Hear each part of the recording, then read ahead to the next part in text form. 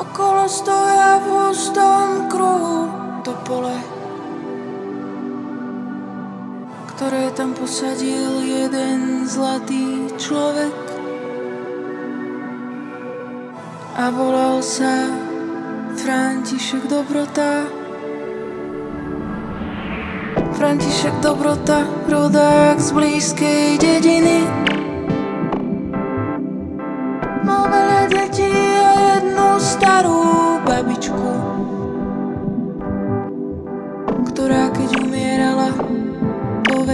Františku.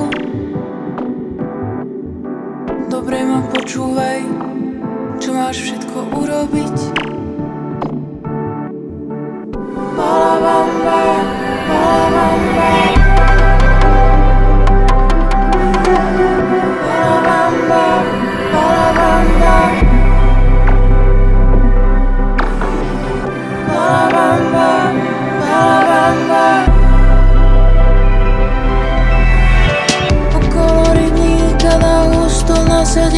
pole